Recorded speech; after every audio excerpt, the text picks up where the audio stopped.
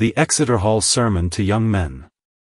O Lord, truly I am your servant, I am your servant, and the son of your handmaid, you have loosed my bonds. Psalm chapter 116 verse 16.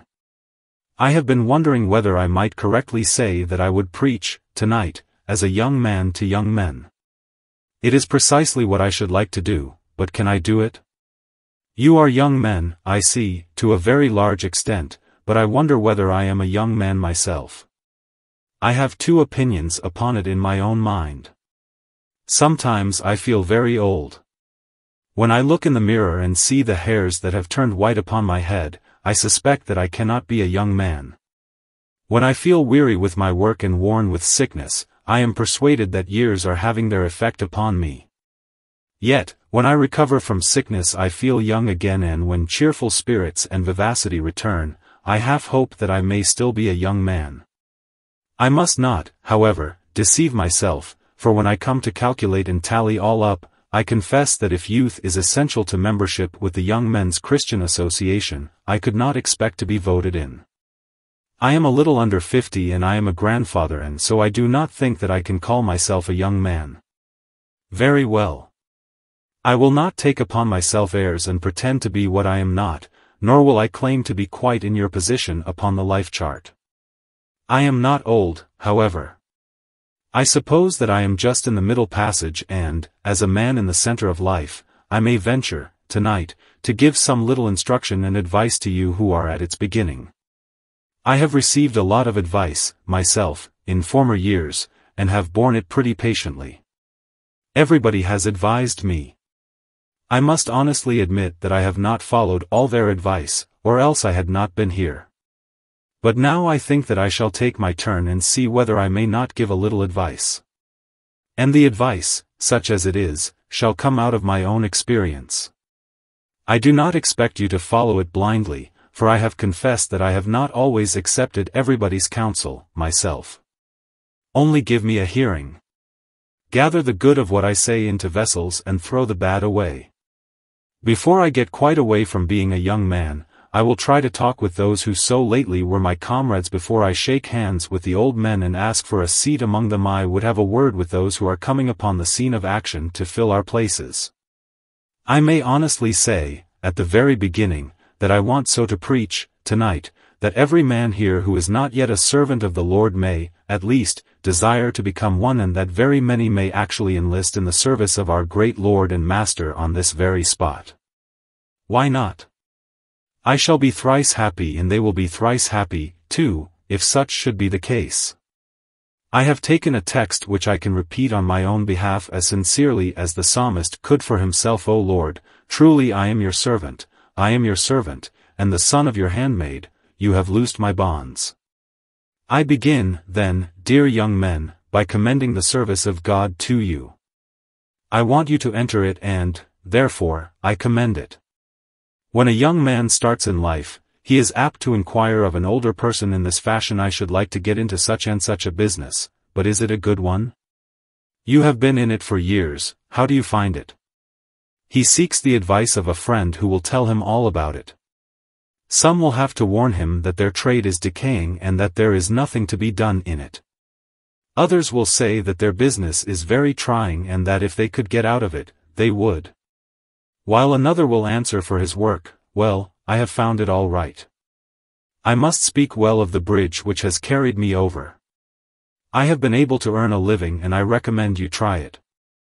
I come here at this time on purpose to give my own experience and, therefore, I wish to say, concerning the service of the Lord, that I have never regretted that I entered it. Surely, at some time or other, in these thirty-three years since I put on Christ's livery and became his servant, I would have found out the evil if there had been anything wrong in the religion of Jesus. At some time or other I would have discovered that there was a mistake and that I was under a delusion. But it has never been so. I have regretted many things which I have done, but I have never regretted that I gave my heart to Christ and became a servant of the Lord. In times of deep depression and I have had plenty of them I have feared this and feared the other, but I have never had any suspicion of the goodness of my Master, the truth of his teaching, or the excellence of his service. Neither have I wished to go back to the service of Satan and sin. Mark you, if we had been mindful of the country from where we came, we have had many an opportunity to return. All sorts of enticements have assailed me and siren voices have often tried to lure me upon the rocks but never, never, by God's grace, since the day in which I enlisted in Christ's service have I said to myself, I am sorry that I am a Christian. I am sorry that I serve the Lord. I think that I may, therefore, honestly, heartily and experimentally recommend to you the service which I have found so good. I have been a bad enough servant, but never had a servant so lovable a master or so blessed a service. There is one thing, too, which will convince you that, in my judgment, the service of God is most desirable I have great delight in seeing my children in the same service. When a man finds that a business is a bad one, you will not find him bringing up his boys to it. Now, the greatest desire of my heart for my sons was that they might become the servants of God. I never wished for them that they might be great or rich, but, oh, if they would but give their young hearts to Jesus. This I prayed for most heartily. It was one of the happiest nights of my life when I baptized them into the name of the Father, and of the Son, and of the Holy Spirit, upon profession of their faith. And now, while I am speaking to you, one is preaching in New Zealand and another at Greenwich and my heart is glad that the gospel which the Father preaches, the sons are preaching, too. If my Lord's service had been a hard one, should have said to these lads, don't you consider it. God is a hard master, reaping where he has not sowed I went into the service blindly and I warn you to avoid it. My conduct has been the reverse of this and thus I have given you hostages in the persons of my sons for my honest love to my Master and Lord. I do, without reserve, commend to you the service of the Lord Jesus Christ. If you enter it, you will wish your sons and daughters to enter it and it will be your ambition that to the latest generation all your house may fear and serve God. I would add this more of a personal testimony so blessed is the service of God, that I would like to die in it. When I have been unable to preach through physical pain, I have taken my pen to write and found much joy in making books for Jesus and when my hand has been unable to wield the pen, I have wanted to talk about my master to somebody or other, and I have tried to do so. I remember that David Brainerd, when he was very ill and could not preach to the Indians, was found sitting up in bed, teaching a little Indian boy his letters, that he might read the Bible. And so he said, If I cannot serve God one way, I will, another. I will never leave off this blessed service. This is my personal resolve, and verily, there is no merit in it, for my Lord's service is a delight. It is a great pleasure to have anything to do for our great Father and friend. And, therefore, most affectionately, for your own good, I commend the service of God to you. I think of it now in the following lights and, therefore, I commend it to you for four reasons. To serve God is the most reasonable thing in the world. It was He that made you should not your Creator have your service? It is He that supports you in being should not that being be spent to His glory? Oh, sirs, if you had a cow or a dog, how long would you keep either of them if it were of no service to you? Suppose it were a dog and it never fawned upon you, but followed at everybody else's heel and never took notice of you never acknowledged you as its master at all? Would you not soon tire of such a creature? Which of you would make an engine or devise any piece of machinery if you did not hope that it would be of some service to you? Now, God has made you and a wonderful piece of mechanism is the body and a wondrous thing is the soul and will you never obey him with the body or think of him with the mind? This is Jehovah's own lament here, O heavens, and give ear, O earth, for the Lord has spoken, I have nourished and brought up children, and they have rebelled against me. The ox knows his owner, and the ass his master's crib, but Israel does not know. My people do not consider. To have lived to be twenty-one without God is a terrible robbery. How have you managed it? To have lived to be thirty or forty and never to have paid any reverence to him who has kept the breath in your nostrils without which you would have been a loathsome carcass in the grave long ago a base injustice. How dare you continue in it? To have lived so long and, in addition to that, to have often insulted God, to have spoken against him, to have profaned his day, to have neglected his book, to have turned your back on the son of his love is not this enough? Will you not cease from such an evil course? Why, there are some men who cannot bear five minutes provocation, no, nor five seconds. It is a word and a blow with them only the blow frequently comes first. But here is God provoked by the twenty years at a stretch the thirty, the forty, the fifty years right on and yet he bears patiently with us. Is it not time that we render to him our reasonable service? If he has made us, if he has redeemed us, if he has preserved us in being, it is but his due that we should be his servants. And let me point out, next, that this is the most honorable service that ever was. Did you say, Lord, I am your servant? I see, coming like a flash of light from heaven, a bright spirit, and my imagination realizes his presence. There he stands, a living flame. It is a seraph, fresh from the throne of God, and what does he say? O Lord, I am your servant. Are you not glad to enter into such company as this? When cherubim and seraphim count it their glory to be the servants of God, what man among us will think it to be a mean office? A prince, an emperor if he is a sinner against God is but a dishwasher in the kitchen compared with the true nobleman who serves the Lord in poverty and toil. This is the highest style of service under heaven no courtier's honor can rival it. Knights of the Garter or whatever else you like, lose their glories in comparison with the man whom God will call servant in the day of the appearing of our Lord and Savior Jesus Christ.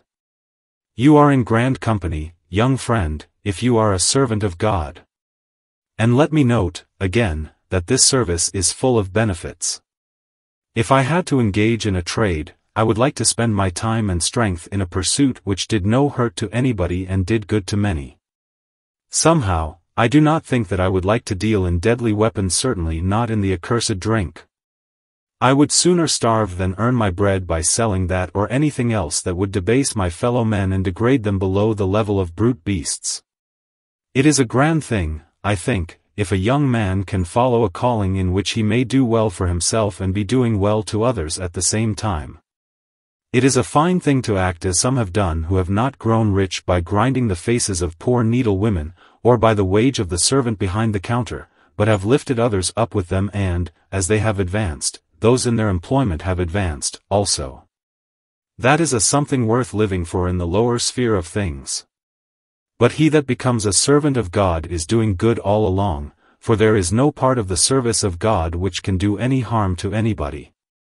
The service of the Lord is all goodness.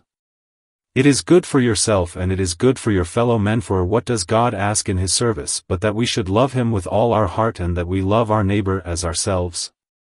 He who does this, is truly serving God, by the help of his Spirit, and he is also greatly blessing men.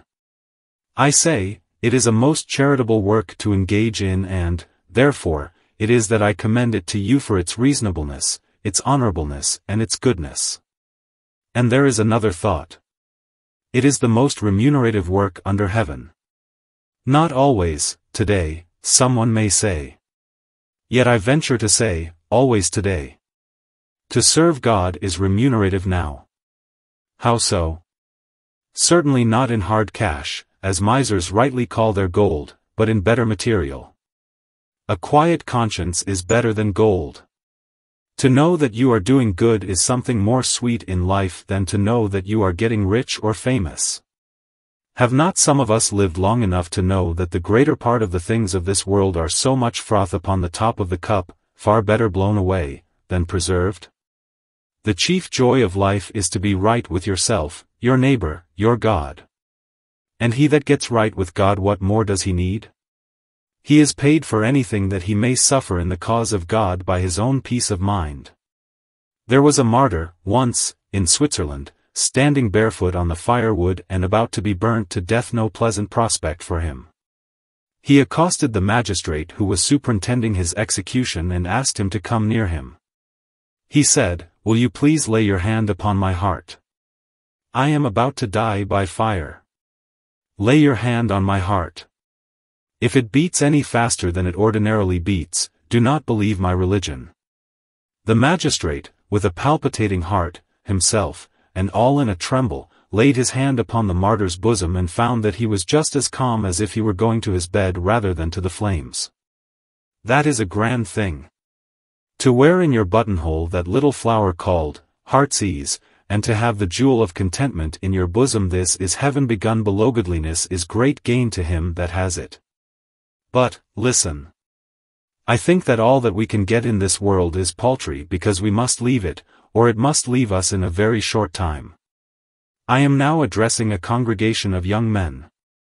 Young men but in how very short a time, if you all live will your hair be powdered with the grey of age. In how brief an interval will the whole company now gathered in Exeter Hall be gathered in the grave? How short life is. How swift is time. The older we get, the faster years fly. Only that is worth my having which I can have forever. Only that is worth my grasping which death cannot tear out of my hands. The supreme reward of being a servant of God is hereafter. And if, young man, you should serve God and you should meet with losses, here, for Christ's sake, you may count these light afflictions which are but for a moment, and think them quite unworthy to be compared with the glory that shall be revealed for there is a resurrection of the dead. There is a judgment to come. There is a life eternal. There is a heaven of unutterable splendor. There is a place in that heaven for every one of us who become true servants of the living God. I think that I hear somebody saying, well, I do not want to be a servant. You cannot help it, my friend you cannot help it. You must be a servant of somebody. Then I will serve myself, says one. Pardon me, brave sir, if I whisper in your ear that if you serve yourself you will serve a fool. The man who is the servant of himself listen to this sentence the man who is the servant of himself is the slave of a slave and I cannot imagine a more degrading position for a man to be in than to be the slave of a slave. You will assuredly serve somebody. You will wear fetters, too, if you serve the master that most men choose. Oh, but look at this city this city full of free men do the most of them know real liberty? Look at this city full of free thinkers. Is there any man that thinks in chains like the man who calls himself a free thinker? Is there any man so credulous as the man that will not believe the Bible? He swallows a ton of difficulties and yet complains that we have swallowed an ounce of them. He has much more need of faith of a certain sort than we have, for skepticism has far harder problems than faith. And look at the free liver, what a bondage is his life. Who has woe? Who has redness of eyes but the slave of strong drink? Who has rottenness in the bones but the slave of his passions? Is there any wretch that ever tugged in the Spanish galley, or any bondsman beneath the sun that is half such a slave as he who will be led, tonight, by his lusts like a bull to the slaughter, going to his own damnation and even to the ruin of his body while he makes himself the victim of his own passions? If I must be a slave, I will be a slave to Turks or savages but never to myself for that were the nethermost abyss of degradation. You must be a servant to somebody there is no getting through the world without it. And if you are the servant of yourself, your bondage will be terrible. Choose this day whom you will serve, for serve you must. Every man must get to his task, whether he is peer or pauper, millionaire or beggar. Kings and queens are usually the most wearied servants of all. The higher men climb, the more they have to serve their fellow men. You must serve. Oh, that you would enter the service of your God. There is room in it. Other places are crowded. Hundreds of young men go from shop to shop and beg for the opportunity to earn a livelihood. I lament that in many instances they beg in vain. Some of you wear the boots off your feet in trying to get something to do how anxiously do I desire that you may find the employment you seek. But there is room in the service of God and he is willing to receive you. And let me tell you, that if you enter his service, it will help you in everything that you have to do in this life. They say that a Christian man is a fool. Ah, proud opposers, though we say not the same to you, we might, perhaps, with truth, think so. I have seen many believers in Jesus whom it would have been very dangerous to deal with as with fools, for very soon he that dealt with them in that fashion would have found that he made a great mistake. They are not always fools who are called Southey are such, sometimes, who use those names. I like a Christian man to be all the better in every respect for being a Christian. He should be a better servant and a better master. He should be a better tradesman and a better artisan. Surely, there is no poet whose masterly excels that of the poet of the sanctuary Milton still sits alone. There is no painter that should paint so well as he who tries with his brush to make immortal the memorable scenes in which great deeds were done. That which you can now do well you might do better by becoming a servant of God. Thus would I commend my master's service with all my heart. Are there any here who will enlist in it? If so, I have a second point to dwell on very briefly. I lift the flag and bid you rally to it, but first hear me patiently. 2. My second point is a word of caution. Did you notice that David said, O Lord, truly I am your servant? Truly. The word of caution. If you become the servant of God, truly become the servant of God. God is not mocked. It is the curse of our churches that we have so many merely nominal Christians in them. It is the plague of this age that so many put on Christ's livery and yet never do him a hand's turn. Oh, if you serve God, mean it. If a man serves the devil, let him serve the devil. But if he serves God, let him serve God. Some people serve their business very actively, but not their God. There was, years ago, a brother who used to occasionally pray at the prayer meeting in a low tone, as if he had no lungs left. Seldom could you hear what he said and if you listened and strained your ears there was still nothing to hear. I thought that the brother had a bad voice and so I never called on him to pray any more. But, stepping one day into his shop, I heard him say in a commanding voice, John, fetch that half hundred. Oh, dear. I thought, that is the kind of voice he has in his business, but when he comes into the service of God, that little squeak is all he can give. Laugh again, sirs. Laugh again. It deserves to be laughed at. But is there not much of this hypocrisy abroad? God is to have the cheese parings of a man's life and he flings these down as if they were all that God was worth? But as for the world, that is to have the vigor of his life and the cream of his being. God does not want nominal servants nor do I invite them, in his name, tonight. O Lord, truly I am your servant, said David. And he that does not mean to truly be God's servant, let him not pretend to be one at all. If you would be God's servant, then count the cost. You must leave all others. You cannot serve God and Mammon. You cannot serve Christ and Belial. He is not God's who is not God's only. You must also enter upon God's service for life not to be, off and on, sometimes God's servant and sometimes not. Have you ever heard of the child who was asked by the district visitor, is your father a Christian? The child replied, Yes, sir, father is a Christian, but he is not doing much at it, just now. Oh, how many Christians there are of that sort. They profess to be Christians, but they are not doing much at it. If you become the servant of God, you must be his servant every day and all day forever and ever. Tis done, the great transaction's done. I am my Lord's, and he is mine must be a covenant declaration which must stand true throughout your entire life. And if you become the servant of God, you must cease from every known sin. You cannot give one hand to Christ and another to Satan. You must give up your dearest sins. Sweet sin must become bitter. If sins are like right hands or right eyes, they must be cut off or plucked out. And you must follow Christ fully, giving him all your heart, soul and strength. For if it is not so, you cannot be his disciple. So much by way of caution. I was very brief on that, but take it as though it were said at length.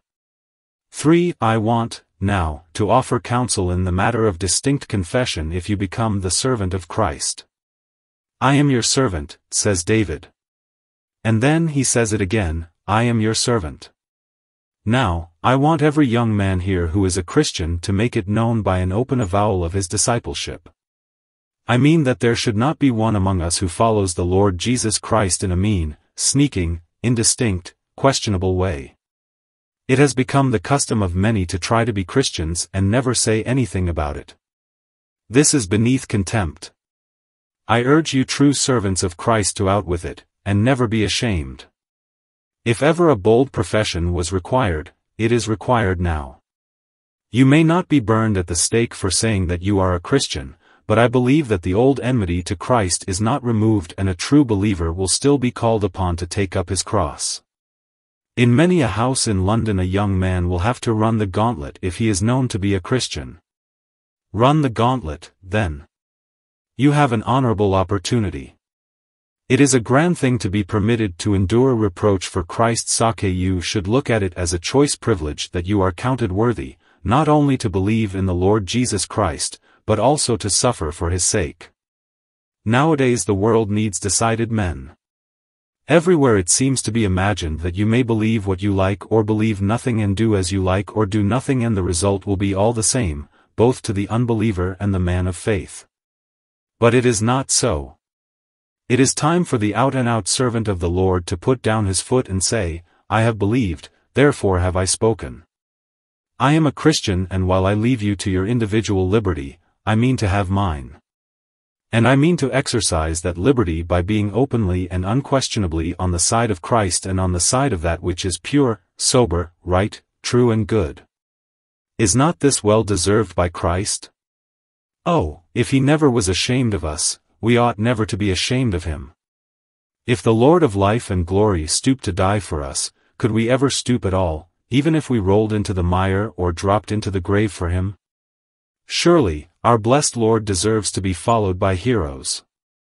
Every man in the presence of the cross-bearing Jesus should feel that to take up his cross and follow Christ is the simplest and most natural thing that can be and he should resolve, in God's strength, that he will do it and continue to obey the Lord, though all the world should ridicule him. Let me tell you that it is the easiest thing to do, after all. Compared with compromise, it is simplicity, itself. I have known many young Christians who have come up to London and they have determined that they would serve God if they could but that they would keep it very quiet and so they have attempted to be Christians on the sly. And they have failed. If you are a genuine Christian, it will be found out as surely as you are living. If you go down to Mitcham when the lavender is ripe, you may shut all your windows, but you will find that the perfume of the lavender will somehow get into your house. Christianity has a perfume about it which will spread abroad so that all in the house inquire, what is all this? The wicked wags will whisper that you are a Christian young man and if you have not come out at the first, it will be very hard for you afterwards. Begin as you mean to go on, young man. Do not hide your flag and try to sail under false colors, for both good and bad will be against you in that case. You will be hunted from place to place if the dogs find that you will run you will make rare sport for the hunters if you take to your heels. Come straight out and let them do their best or their worst. Live a most consistent life and the other young fellows will know where you are. They will soon reckon you up and if you are sincere, before long they will leave you alone but if they do not, forbearance is still yours. If they continue to persecute you, so much the worse for them for you, by your quiet, holy life, will make them feel that it is hard for them to kick against the pricks. But, anyhow, do come out bravely. Some of you young fellows are like rats behind the wainscot you do not mind going out at night to eat the crumbs on the floor but there you are, back again directly. I mean that you will join in religious exercises if it is not known to the shop, but you would not, for the world, become suspected of real religion. Is that how true Christians should act? No. Put on your livery. But I do not care about joining a church, says one. Very likely. But do you not know that it is found to be a convenient and proper thing in warfare that a soldier should wear a uniform? At first, Oliver Cromwell's Ironsides were dressed anyway and every way. But in the melee with the Cavaliers it sometimes happened that an Ironsides was struck down by mistake by the sword of one of his own brethren and so the general said, You wear red coats, all of you. We must know our own men from the enemy. What Cromwell said, he meant, and they had to come in their red coats, for it is found essential in warfare that men should be known by some kind of uniform. Now, you that are Christ's, do not go about as if you were ashamed of his majesty's service. Put on your red coats I mean come out as acknowledged Christians. Unite with a body of Christian people and be distinctly known to be Christ's. How are the ordinances of the Lord's house to be sustained if every man is to go to heaven, alone, by the back way? Come out boldly. If any man wants to laugh at a Christian, step out and say, laugh at me.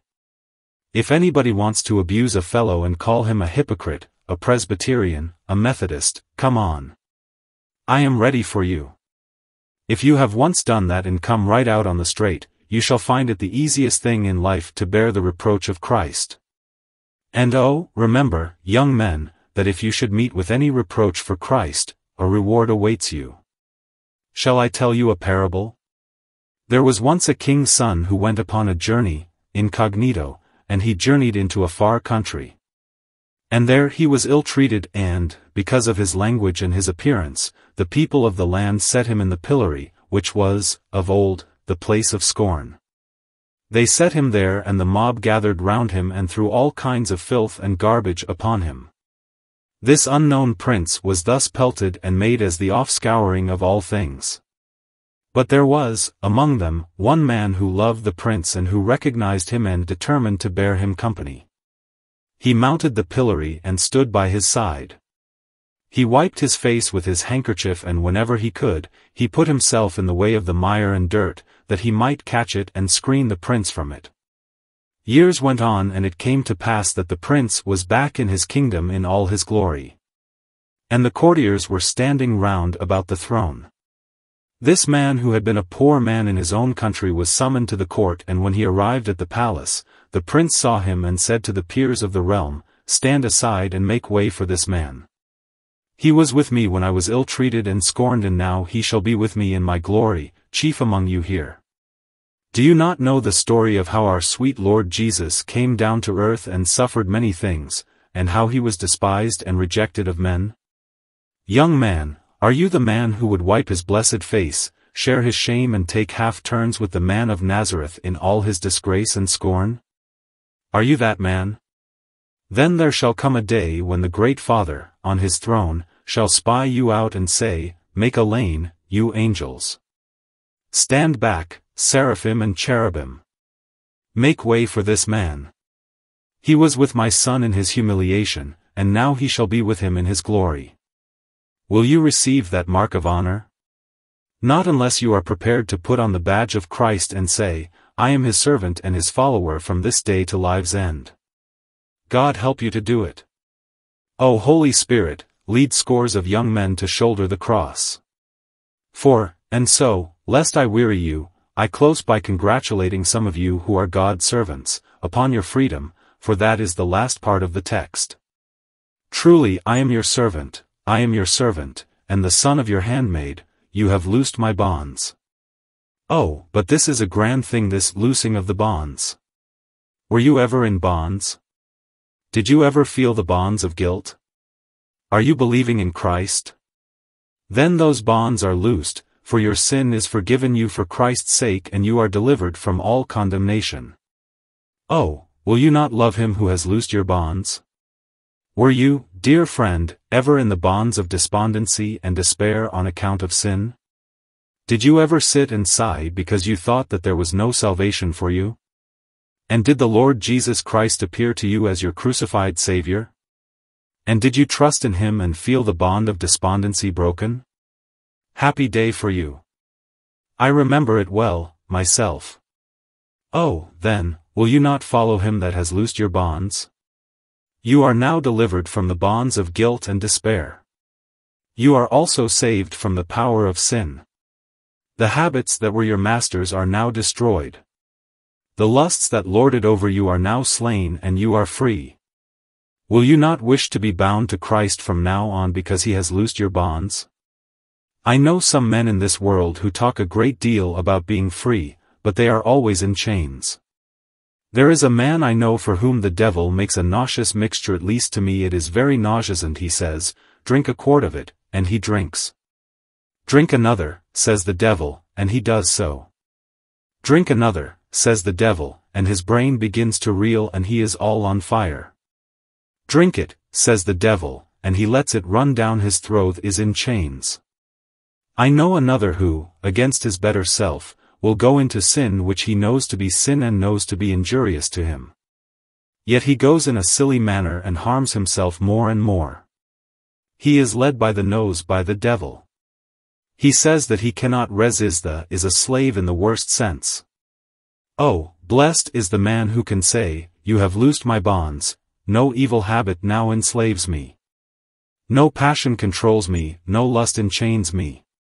Young friend, if you can stand up and say, I am free from myself I am no longer the slave of sin, you are a blessed man and you may well be God's servant forever. What a mercy it is to be delivered from the bonds of the fear of man. Some young men dare not call their souls their own for fear of their employers. A great many more are dreadfully in fear of the young man who sleeps in the next bed. Oh, dear, they dare not do what is right. Poor babies that they are, they must ask permission to keep a conscience. When they are about to do anything, they are always saying, what will so-and-so think of it? Does it matter to any true man what all the world thinks about him? Has he not risen out of that? Is he still a serf? Go, says the brave man, think what you will, and say what you will. If I serve God, I am no servant of yours. By your censures I shall not fail, as by your praises I shall not rise. Be afraid of such a thing as this and ask the leave of another man what I shall think, what I shall believe, what I shall do. I will die first. When God brings a man to know him, and to be his servant, he sets him free from this cowardly crime of being afraid of a man that shall die. So, too, he sets him free from all the maxims and customs of the world. Young man, when you go into business, they will tell you that you must do such and such because it is the custom of the trade. Why, you say, it is lying. You will be told that it is not exactly lying because your customer is used to your tricks and quite understands that a hundred means eighty, and the best quality means a second-class article. I am told that half the business in London is robbery in some form or another if the customs of the trade are not understood. If it is so that it is all understood, it might just as well be done honestly and it would pay as well. Yet, somehow, men feel as if they must do what others have done, or else they will be out of the race. Slaves. Serfs. Be honest. He is not free that dares not be honest. Shall I not speak my mind? Shall I not act out my integrity? If I cannot, then I cannot say with David, You have loosed my bonds. Lastly, what a blessing it is when God frees us from the fear of death. You have loosed my bonds. What will it matter to you, young man, if you become the servant of God by faith in Jesus Christ, whether you live or die? If you die early, so much the sooner in heaven. If you live long, so much the longer in which to serve your God on earth. Give your heart to Christ. Trust your salvation in those dear hands that were pierced for sinners and thus become the servant of God and you shall be provided for for his children shall not lack. You shall be led, guided, taught, educated, prepared for heaven. And one of these bright days a convoy of celestial spirits shall think it an honor to be permitted to bear your joyful spirit up to the throne of God. Who will be the servant of the Most High, then? I always wish, when I have done with sermons, that I could preach them over again because I have not done well enough. But all I care to preach for is that I may touch your hearts. I would not care a snap of the fingers to be an orator, or to speak pretty sentences. I want to put forward the truth of God so that some young man will say, I will serve God. I remember young men that began life when I began, that are now I will not say what. Ah! I remember hearing their names mentioned as models. They were such fine young men and had just gone up to London. Yes, and they are, tonight, if not in jail, in the workhouse. It all came about in this way the young man sent word home to his mother what the text was on Sunday, yet he had not been to hear a sermon at all. He had been to some amusement to spend a happy day wherever he went, he had neglected the house of God and, by and by, there was a little wrong in his small accounts just a little matter. But that man could not pick himself up, again, having once lost his character. There was another. There was nothing wrong in his accounts, but his habits were loose. By and by he was ill. Who could wonder? When a man plays with edged tools, he is very likely to cut himself. It was not long before he was so sickly that he could not attend to business and, before long, he died. And they say he fear it was true that he killed himself by vice. And that is how thousands do in London. Oh, if you become the servant of God, this will not happen to you. You may not be rich, you may not be famous, you may not be great you need not desire these things full often they are gilded vanities. But to be a man to the fullness of your manhood, to be free and dare to look every other man in the world in the face and speak the truth and do the right. To be a man that can look God in the face because Christ has covered him with his glorious righteousness this is the ambition with which I would fire the spirit of every young man before me. And I pray God that the flame may burn in his life by the power of the divine Spirit.